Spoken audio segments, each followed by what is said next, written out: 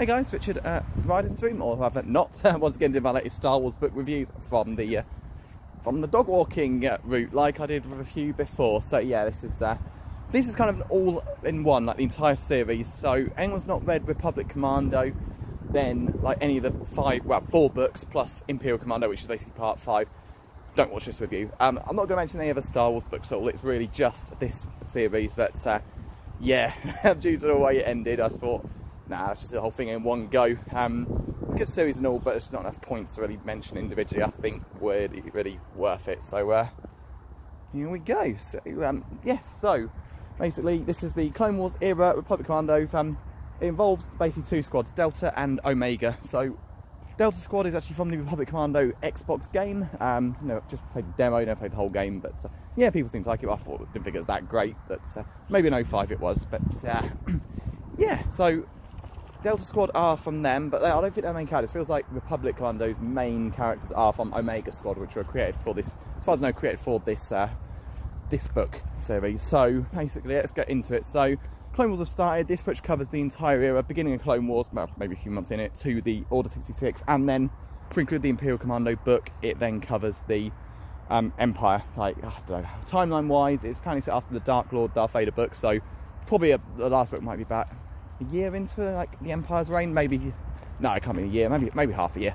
It's, um, so yes, these four books. So you got your main characters, mainly the clones. Um, good characters. Um, you got their clone commander, Kal Skirata, who's a Mandalorian. Because um, spoiler for canon Star Wars, this is the era where Jango Fett was actually a Mandalorian, um, whereas they changed it. I don't know why to him just being a common soldier in uh, later books, uh, uh, so later canon era. So uh, well, my dog needs tugging. That dog. yeah, this is so. Yeah, Kal Skirata as the um, Mandalorian commando, who's basically taken them all in, which has his sons. Um, got a few Jedi. Um, got, uh, the main Jedi is a woman called God. Oh, Etain. And then you've kind of got their like main Jedi, like Jedi Master Commander, which is called uh, General Zey. I think Argalan might be his first name.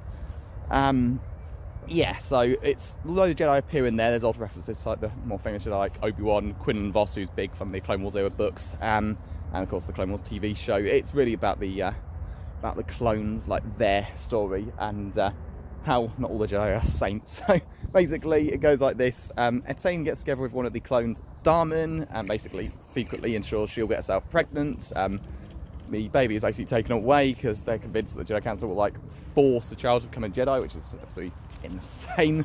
Um, so Kal Skirata, the leader, basically takes them. They don't even tell Darman until like like a year after Child's been born, even after he's made contact with child, which is, just feels kind of wrong. And so of course Etain gets killed like most of the rest of the Jedi by point of order 66. It's incredibly dumb. Um, basically she uh, so and yeah the um it basically ends with the Alpha clones because none of the main clone characters are killed in this book. Uh, book series kind of plot armory to be honest. But uh, would you expect? This has a massive bias to, against the Jedi and towards the Mandalorians, which you'll notice. So, yeah, um, this is the problem. The book series should be it's called Republic Commando. You think it would focus on, you know, the Republic's history. Yeah, you got the war. You know, you got mentions of Jedi, Sith, etc. But so much is about the history of the planet Mandalore and their culture. I mean, credit to the author, she made a cool like language various like phrases for like words. Like they put a diction like a dictionary in the first three books and by then you kind of know what each phrase means so it doesn't really matter. Um, hang on boy. Um come on come on come on. Trying to think of what good things be worth mentioning. It's like yeah first three books pretty good. You've got like espionage you know them t- you know take liberating and taking back conquered planets etc but then it kind of gets into the uh, the Jedi villains angle. Like, I get that all the clones won't always be best friends with the Jedi. I mean, not obviously not every Jedi cares like they uh, they should, but the way they like treat like treat them as if like even the most popular Jedi, like Obi-Wan, are bad guys, It's insane. And it just comes to a head when the uh, Sith are basically treated as better than the Jedi. It's like the, it's the whole you know, Jedi, Jedi Council just uh, didn't ask questions, just put let's go blind eye to everything that was going on while um, the Sith, well, uh, Sith Lord Palpatine, who basically set the whole thing up, created like millions of clones just let them die, you know, his own personal war, just get what he wants. He's somehow not as bad. So once you start getting to that stuff, you think this is really dumb, and like, come on, someone should have reined this uh, author in. and it basically ends with the clones all separated. Um, some of them basically go to the planet Mandalore, and some are like part of the Imperial Army by the end, because of course during Order 66 some get separated. So yeah, the uh, head of the anti-Jedi stuff basically Etain like plans to like sneak off Coruscant with a lightsaber. And think that that will be checked because of course not all the clones are going to like keep her alive because and this is kind of missed opportunity none of the Republic Commando main characters turn on the Jedi. Um I seen when Etain would be killed some of them would and it caused like a massive like war between the main characters but no none of that happened whatsoever. She basically dies defending a clone from a Jedi because it's just a really stupid bit where she sees that this clone's about to be killed after they basically open fire on two very young Jedi children, and she's like, basically, no, this clone is a living man. I can't let him die. It's like, seriously, WTF? Like, the clone is a living man. Okay, so yeah, a living, breathing man. What about the Jedi child who is they're trying to kill? These are also the exact same clones that have like been in the Jedi Temple as well in the attack, not the off-planet ones. And basically, yeah, okay, I get it. The other clone is a living, breathing person, but he is the one opening fire on a couple of, like three Jedi children. It's like that Jedi child is just defending himself, and so the clone is a living, breathing man. What? So the child isn't a living, breathing well boy. It's just unbelievably dumb. And of course, all the clones then like murder all the Jedi there, and it's just it's just so ridiculous. And you think, you know, we knew Etain would be killed, but to go like that, saving a clone from a Jedi, the clone that's trying to kill the Jedi.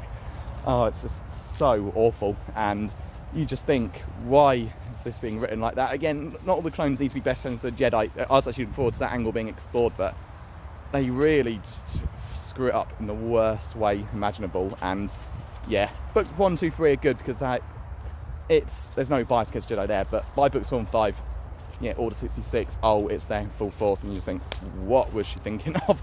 Um, I mean, it's not all bad. Like I said, first three books are pretty good. I love the Mandalorian culture and like the basically the Mandalorian dictionary. But again, it's that's all it's about. The bad dog eating grass. Huh? Anyone got any tips to stop that? By all means, let me know.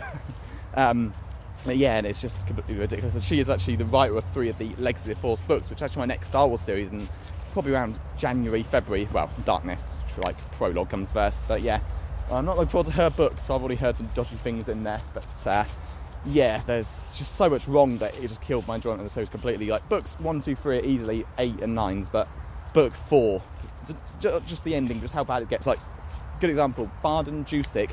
He's like a former Jedi, uh, Jedi general. He's like a Jedi Knight. Good character. Yeah, I liked him. You know, he, he emphasises with the clones a hell of a lot. He, and yet there are similarities between the clones actually being created to be forced into order to the Jedi, being given by their families to become you know, Jedi as well. There's there's similarities there, um, no doubt about it.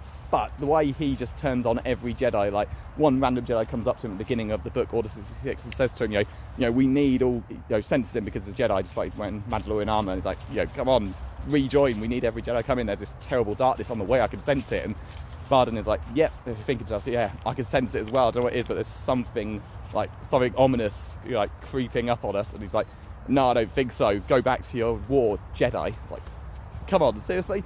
Oh, and then in the Order 66, like when the word gets around what happened, you know, Palpatine's story, a bunch of Jedi tried to, you know, assassinate Palpatine and they're all dead, you know, Mace Windu included. And Etain's response is, why would the Jedi do that? It's like, what?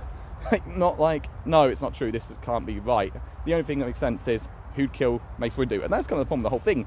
Like, did like, yeah, Anakin is like, eventually becomes Darth Vader's figure in black, who no doubt Palpatine claimed was his like bodyguard who like killed the Jedi for him. But before that, when Anakin is the Jedi who's like just been killed with the rest of them, it's like I have no idea how that meant to be. But hey, that's the issue with the uh, saga. No one asks questions. Um, so yeah, massive problems. Um, you know, the whole the Sith are better than the Jedi. No, come on. It's uh, yeah, a poor book. So it starts so well, but and then of course doesn't even end. The final book basically got uh, the author decided not to. So yeah, interesting story. Basically, they Lucasfilm came up with the um, Oh, my dog looks a bit worn out now. Don't know, but he's still more walking to do. Still a lot more. There he is. yeah, so um, basically, the Clone Wars TV show came out. There was already a Clone Wars one, the really short, three minutes, like 23 minutes, and then five 20 minute episodes, which were absolutely awesome, tied into episode three perfectly. And then, of course, that got changed, you know, got redone for like a big full on series set a few months after episode two. I like think series one is valid. Um, you know, it starts with Anakin looking like he does in episode three, pretty much, and yeah, in series one of Clone Wars led to all that, but the Clone Wars starts. But yeah, basically the author didn't like the everything they were doing in Clone Wars, such as changing Mandalorian's history. You know, no Mandalorian trainers teaching Clone Army. She basically got the hump and left. I, I felt bad for the beginning, but then you look into it, everyone knows your stuff isn't canon. It's only the films and then official TV shows. She may have been told this is practically canon, but it wasn't. Yeah, she basically quit. But credit to her, she actually gave us the ending. You know, she told everyone on her webpage what would have happened. Like you got clones built. I'll give you this info now if you want to. Know, don't want to um, hear this stuff. Switch the video off, but uh, I'm going to put it in now. So basically, you've got like the next wave of clones. Again, these are all the ones that attack Jedi Temple, which again clashes with canon, which we know, like Battlefront game, which is practically canon says they just all got shipped in secretly off worlds. But these are basically clones born to maturity in one year, which is quite a barbaric practice because I was even teach a clone like military stuff in that time, let alone okay, they get grown to adulthood in a year, like a Doctor episode I watched yesterday, uh, a couple days ago. But yeah, how are you going to teach them all this stuff in such a short time? But basically, one of those clones, Kal ends up killing because he's uh, unable to. He doesn't like view him. He's basically pro pro Empire, not pro soldiers. And um, the other thing is, this is one of the plots I did like. Um, Kal is basically he's basically pulled off a scam where he's got he's basically stealing from every bank account in the galaxy, like basically one credit, like one pound from every account. He figures no banks will ever investigate that because the sheer amount of hassle. Oh, you got like yeah, they'll refund every customer. Sure, the one that noticed it, trust me, working a bank, people would. but yeah, would they really want to go through disputes to get a pound back? All the banks, plus there's multiple banks, not one master bank. Basically, yeah, he's stealing from them one credit from like every bank account. Not to mention he's got millions from a um, inheritance. So uh, yeah, he's basically using that with good use, finding out a way to stop the accelerated aging in clones. And I really like that because it's true, these clones may be built so like, basically their aging has been doubled. So they can be, because Attack Clones are 10 years after Phantom Menace, so they've basically been born beginning of, um, just after Phantom Menace, and then they're adults 20 years in, you know, 10 years later. And it's kind of horrible when you think about. Yeah, that's good good production, you get the results, you, know, they, you get your army in adulthood and fighting skills in 10 years, but what happens after? Well, they're going to age at half the rate. Um, you, know, you know, they're going to live till that. Plus, fighting in wars is going to you know, going to harm them. So, really, let's say the average in Star Wars era is like age for like I don't know 80, 90. You're looking at 40, 45, but being soldiers may be less because of the effects of battles, everything they've done. So, yeah, it's kind of harsh that they've got no real long-term future, and they do a good job showing that the clones effectively have no rights. They're just property of the Republic. They've got no like birth certificates, passports, nothing like that. And yeah, Skirata is desperately trying to stop that. It's a good idea, but turns out he would be unable to do it.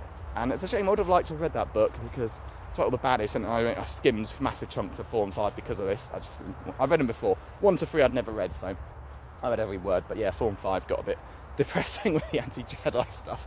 Um, trust me, it's it's there. Um, but yeah, overall it's a good series, but yeah, of course they couldn't stop at three. But if the same strengths of the first three books had carried over and none of the whole Jedi are bad, you know. You know, like Zey even says to Sc- Kal you know, the Sith are evil, you know, Kal, we've, they're responsible for every war in the histories. Oh, don't get on your high horse. You're with the Jedi are worse. Like how he basically says, how are the Jedi worse exactly? Like you turned a blind eye to the creation of this army and didn't think about the clones' rights. Like, but Palpatine, the Sith, created the entire army just so he could basically have them all die, so he could take over the Republic for himself. Like, do you honestly not think that makes him the villain? And it's like, no. It's like, come on, this is just bad writing, full stop.